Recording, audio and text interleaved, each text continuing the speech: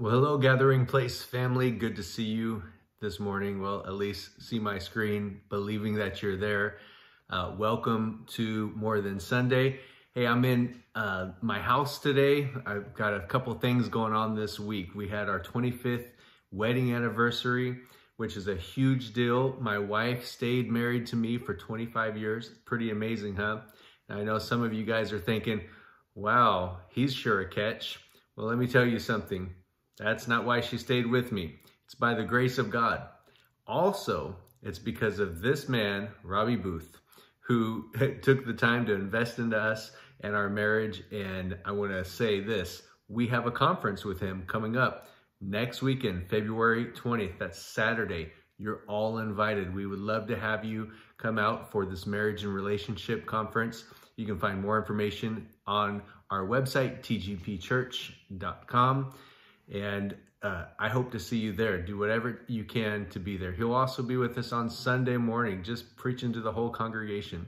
Uh, but you are definitely going to enjoy it if you're able to make it out. Hey, uh, I want to jump into the word with you today. I don't have all my intros and outros, and I won't have all the scriptures to put up with you. Uh, you're just going to have to follow along on your Bible, and I trust that you will. I've been taking some time not only to celebrate our 25th year anniversary, but also, I moved my dad up to my hometown here in Folsom so that he's in a, an assisted living near us. It's an opportunity to really invest in that relationship and help take care of him in his latter years here. And so we've got a lot of things going on and I didn't really have a lot of time to record this week, but I do want to get the word out to you. In light of all those things, I also have heard about three precious men of God who have uh, just been such a great example of faith and faithfulness who passed away within the past several weeks. Uh, one of them I've known for several years, uh, about 10 or 12 years, the other about eight years, and then one I just recently got to know. There's something about all three of these guys that as I heard their stories and, and even was able to visit two of them uh, during some of the times that they've been in the hospital or uh, in their home, uh, one, uh, what, what I found with all of them, they were full of faith. They were always full of hope. Anytime I would be talking to them, they'd be more concerned about me uh, or about others than what they're going through. They were precious men of God who loved people deeply, and all they wanted to do is uh, really see people come to know Jesus in the same way that they did. And so they deeply impacted my life, and, and some of them I had more time with than others. But when I look at their passing, when I hear the words that are spoken over them, I just think, man, for us as Christians, we have a lot of hope. We have a lot of uh, reason to live. We have a lot that God does on the inside of us. And I also listen to these stories and I think, I want to be like those guys. It also brings home the brevity of life, the reality that this life is short. So for all three of them, uh, it came earlier than anyone would expect. But the reality is we all know that day is coming. We all know that day is coming. And, and for each one of us, uh, today is one day closer to the day we stand before the Lord. And so as we've been in this message series talking about the believability of the Bible, we talked about the inspiration of the Bible. Just want to talk to you about some of the implications of that and what it what it says and what we believe. Because if the Bible is true, and this life that we live is, is but a breath, it's but a vapor. There's certain things that we have to grab a hold of and be really firm in our understanding. And even just going back to what the early church believed, what the Bible teaches. And I want to walk you through some of that today. And I'll be glancing at my my uh, page here down. So if you're wondering, what is he looking at? I'm when I'm looking off camera, I'm not looking at my feet or my toes. Um, I'm actually just looking at what the scripture I put up on my screen. So, you know, when we think about this, we think about what did the early church believe? They were very well of their own mortality as well. Uh, but they also understood that though the life on this side of eternity is brief, we're all created to live forever. And there are certain things that they understood through the scriptures, they understood through their time with Jesus and through the revelation by the Holy Spirit that they passed on through those scriptures. Now remember, we believe the Bible. We believe it's a reliable collection of historical documents written by eyewitnesses in the lifetime of other eyewitnesses. And they report on supernatural events that were fulfillments of biblical prophecies. And they claim that the writings were not human, but rather divine in origin. And so when they're writing these things, they teach us certain things. And I want to go with you to 1 Corinthians chapter 15. And this is one of the core um, passages of the Bible that really summarize summarizes the gospel. In fact, sometimes people say this is the gospel in a nutshell. And this is really um, what we believe. It, it kind of encap- encapsulates so much of what we believe. Now, I, I know there's so much more to the Bible than just this, but it's such a great foundation and almost an outline of the, the gospel message, at least. But believing the, the biblical gospel message is the only way that a person is saved. That's what we believe. So 1 Corinthians chapter 15, 1 and 2 says this, Now I would remind you, brothers, of the gospel I preached to you, which you received, in which you stand, and by which you are saved, if you hold fast to the word I preached to you, unless you believed in vain. So Paul's writing to the to these uh, Corinthians and he's saying this. He said, I want to remind you, I need to bring you back to the gospel that I preached to you.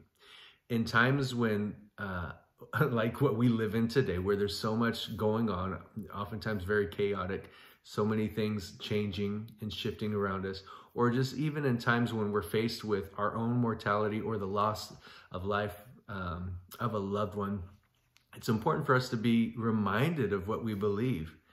It's also important for us to be reminded of the gospel and what we believe in light of all the um, the pressure to believe a different gospel or to to really get off message, get off faith, to be distracted, to to be divided and and, and really our faith is under fire so often. And I don't just mean like uh, the morals of this world, but really the foundations of our faith, what we believe and why we believe that.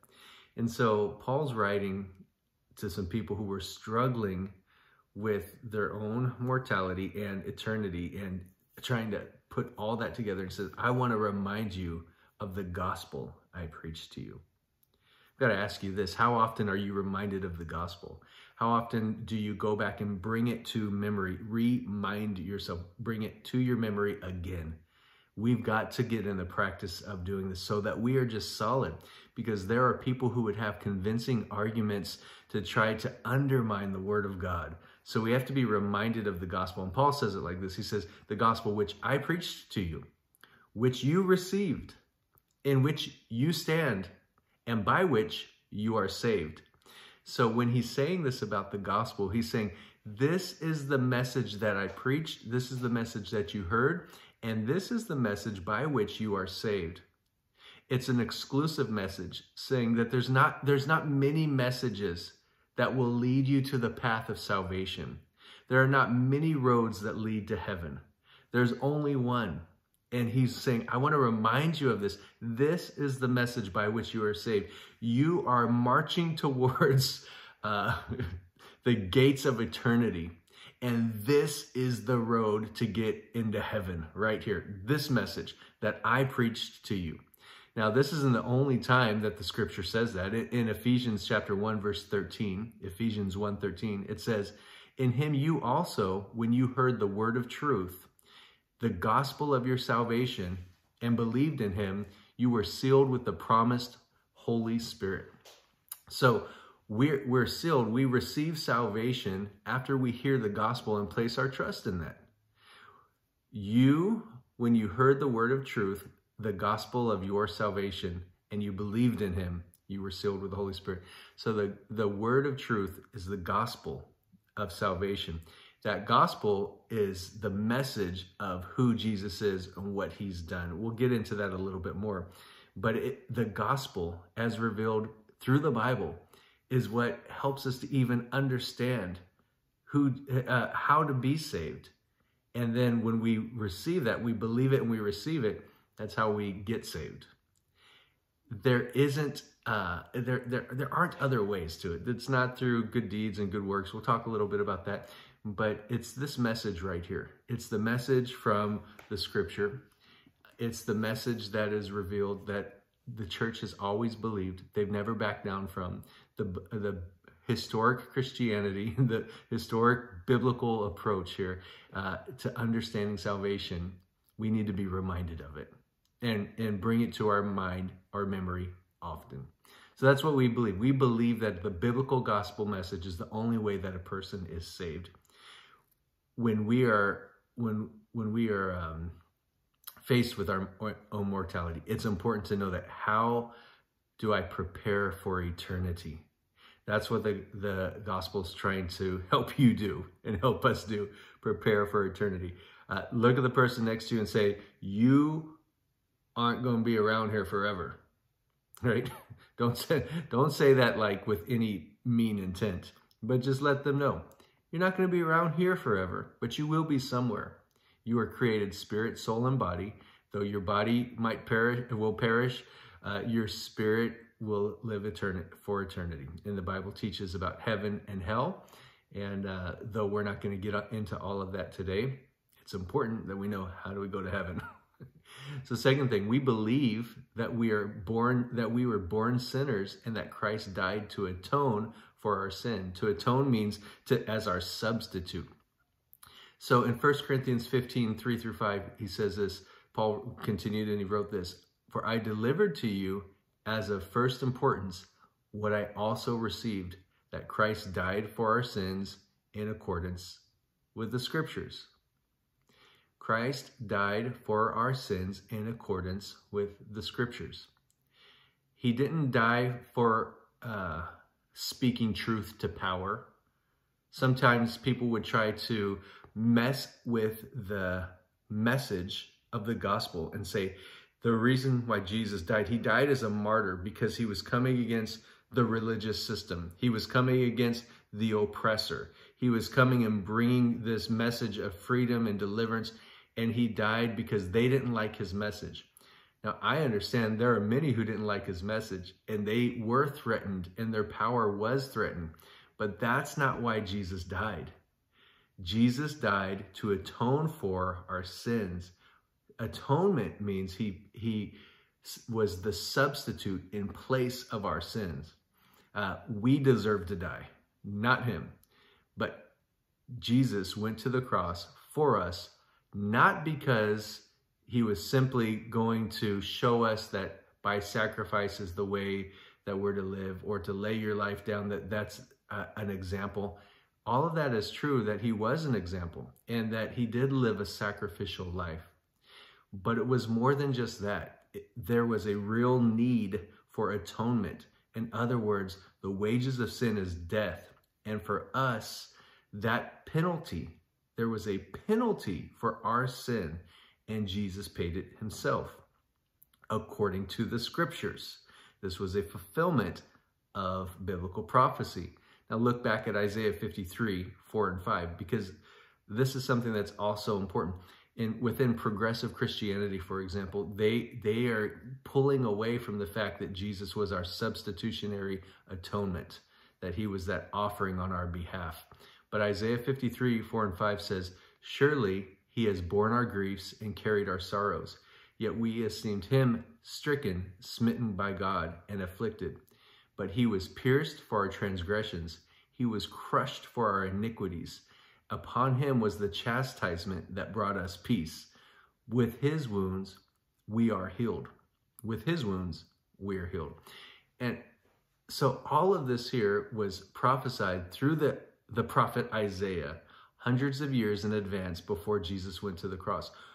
Isaiah was seeing something happening on the cross with his spirit, with his prophetic eye, that they didn't see happening with their physical eyes when it actually happened in person, but he was revealing the spiritual implications of what happened on the cross. Knowing this for us, when we look back on the cross, we don't just look at Jesus dying and thinking, well, that was really nice of him to do on our behalf or, or uh, as a as a light thing. I mean, the Bible says that he became sin for us that we might become the righteousness of God in Christ. That the weight of the of the world's sin was laid upon him. It was a punishment. It was a punishment that was laid on Christ for us. We believe that. Now, why, why that's important is because if he didn't do that, we would still be responsible for it. And if we don't believe that he took it all himself, then we're saying that we are going to bear the responsibility and the weight. Now, when we die, if we haven't placed our faith and trust that Jesus has paid for that, then that means that we're going to have to pay for it. The problem with that is you will spend eternity paying for it and it will never be fully paid. This is this is why Jesus went to the cross to pay on your behalf. Now, why didn't he have to pay for it for eternity? He went and paid for it once and for all. He was the righteous dying for the unrighteous. So you would go as someone who's unrighteous and without the ability to ever pay it off. Jesus was without sin and he paid for it through his death on the cross. He was a substitutionary atoning sacrifice for you and me. As these three men that I, I mentioned, uh, men of God, they were precious on this side of uh, eternity, full of life, full of hope, full of love, full of faith. And now that's only accelerated. Now they're standing in the presence of the Lord. Why? Not because they were good on this side. Their goodness on this side had nothing to do with them getting into heaven. It was everything, it had everything to do with Jesus on the cross, which really leads us to, we'll talk about this more in just a moment, but uh, we believe that Jesus was buried and was actually raised from the dead. Was actually raised from the dead. 1 Corinthians 15 4. Uh, Paul goes on, he says, He was buried and he was raised on the third day in accordance with the scriptures. It's not a metaphor that Jesus came to life just to tell us, like, hey, after hard times, you know, there's hope for the future.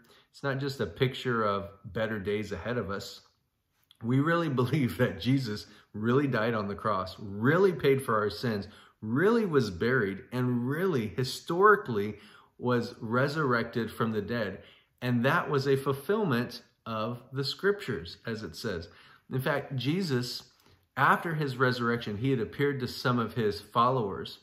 And this is this is the road to Emmaus. He's walking with them. They didn't even recognize that it was him and he's talking to them about what was going on in their hearts and, and, and, why they felt the way they did.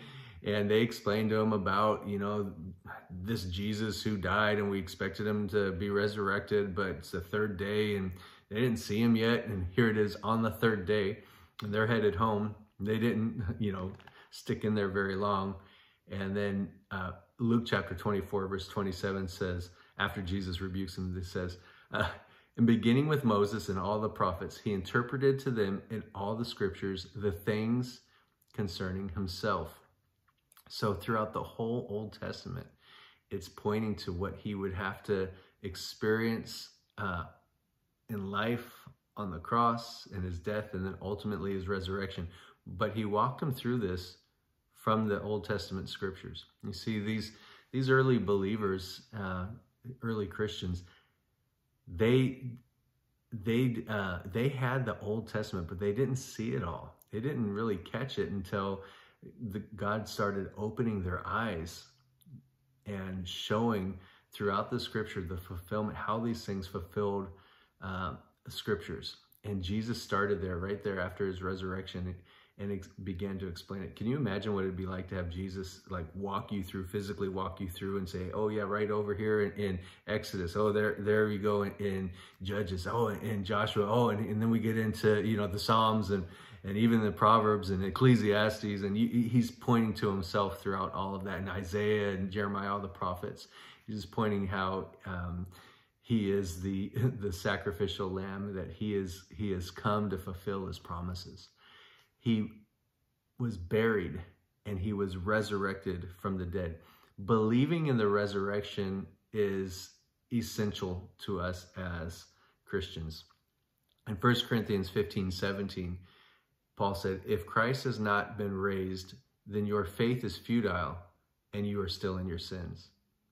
So it's not an option for us, or we're not just thinking it's a good story again, but we really believe in the resurrection of Jesus Christ. And if there is no resurrection, then our faith, our faith is meaningless.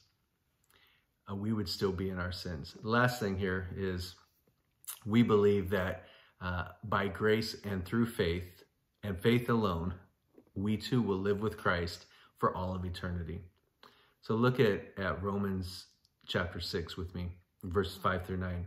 Paul wrote this. He said, For if we have been united with him in a death like his, we shall certainly be united with him in a resurrection like his.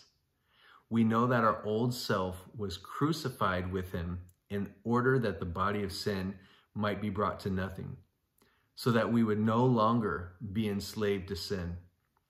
For one who has died has been free, set free from sin. Now, if we have died with Christ, we believe that we will also live with him. We know that Christ, being raised from the dead, will never die again. Death no longer has dominion over him. So, in the same way that Jesus Christ was raised from the dead, he never dies again. When we have placed our faith and trust in Jesus Christ, when we do it here now, like maybe you did it 10 years 50 years ago. Maybe you're going to do it today. When you place your faith and trust in Jesus, the Bible says that you've been united with him in his death. That means when he went to the cross and paid for our sins, that uh, that my sins really were paid for right there. I'm united. I become one. That's where the great exchange takes place. He takes my sin and I receive his righteousness, not by anything I did. I don't deserve it any more than he deserved my sin. But yet he willingly took it from me. So and gave me his righteousness. The Bible says in that same manner we're going to be united together with him in his resurrection. In the same manner that Jesus was resurrected from that from the dead, physically resurrected, not just spiritually, physically resurrected, we will be resurrected as well. We will live for eternity. Our old self was crucified with him, that the body of sin might be done away with forever. Uh, we're not going to be enslaved to this. We don't have to live as slaves to sin now, even. Verse 7 says, we, the reason why is because those who have died have been set free from sin. You've already died with Christ. Sin is no longer our master. We can be free from sin and, and walk in, in the righteousness that God has given us right now. In fact, that's how he views us already when you've placed, your, placed your faith and trust in him. Uh, we verse 8 now if we died with christ we believe that we'll also live with him and we know that christ having been raised from the dead will never die again death no longer has dominion over him death doesn't have dominion over you doesn't have dominion over those three gentlemen. He doesn't have dominion over those who, uh, death doesn't have dominion over those who receive the gospel. Hebrews 2 14 and 15 says this Since therefore the children share in flesh and blood, he himself likewise partook of the same things, that through death he might destroy the one who has the power of death, that is, the devil, and deliver all those who through fear of death were subject to lifelong slavery we have victory. We have a future. We have a hope. We have a promise for eternity. We don't have to back down. Where does that come from? Where does that hope come from? It doesn't come from uh, just hoping that God is going to be fair. It doesn't be. It doesn't come from hoping that He's just going to be nice. It comes from the gospel that is revealed in the scriptures. This is why it's important for us to believe the Bible, but to know why we can believe the Bible. And then to trust what it says and act on it. We believe that this word has authority in our life. And when we respond to the message by faith, we receive it by faith. We enter in to all the promises of God. We enter into the power. We we enter into a relationship with Jesus. Now, I don't mean like because of of the power of the the physical book. I mean the message that introduces us to Jesus. This relationship that we end up having with him. That's what transforms our lives. when we come into a new relationship with Him, we place our faith and trust in, in the life, the death, and the resurrection of Jesus. He paid the price for us. That's the gospel. That's the gospel. Now, I know there's so much more uh, to it. You can dig so deep and spend the rest of your life and never uh, fully, fully grasp every aspect of it. That's how deep God is. But at least get the Bible in a nutshell. at least get a hold of those few things. Well, that's all I have for you today. I hope that as you hear this, you examine your own heart. Remember uh, that this word isn't just for head knowledge, but it's for life transformation as well. And so maybe take a moment to reflect on it. Have I placed my faith and trust in Jesus? Am I believing that there's another way? Am I believing that if I'm just good enough, or am I placing a little bit of hope in my own deeds that maybe God's going to let me in?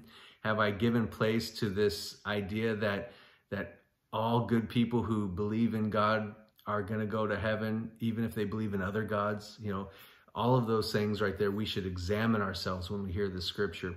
And then if there's any of that, you just repent, place your faith and trust in Jesus acknowledge these ungodly beliefs, acknowledge these lies that you've believed or just misunderstandings, and uh, and ask God, continue, show me through your word who you are, and reveal yourself to me. Well, I pray that God would minister to you, that He'd bring life and strengthen you, and that uh, one day, when others gather around to talk about the kind of impact that you left on their life, They'll sit there and talk about your faith in Christ. They'll talk about your love. They'll see that you demonstrated not just what you believe with your words, but with your actions as well. That's the kind of impact I want to leave on others. Well, I can't wait to see you again. If you can make it to that marriage conference February 20th, check it out. More information, go to tgpchurch.com. Love you guys. Bye.